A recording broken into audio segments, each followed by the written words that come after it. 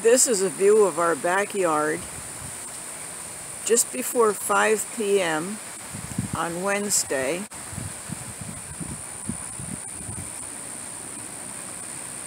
October 9th. Just after we had several tornado warnings and we really had some rain blow through here.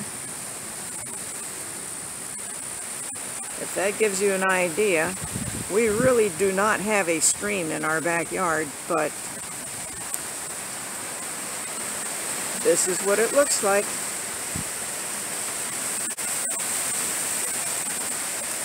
Quite a bit of water.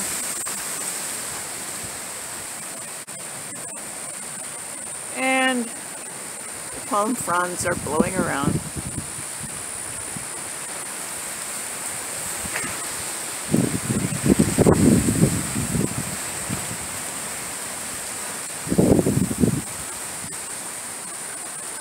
So, that's what we have in our backyard.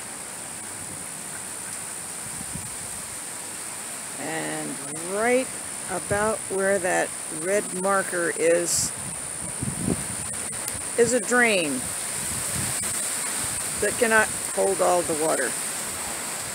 It's supposed to go down into the canals and into our ponds.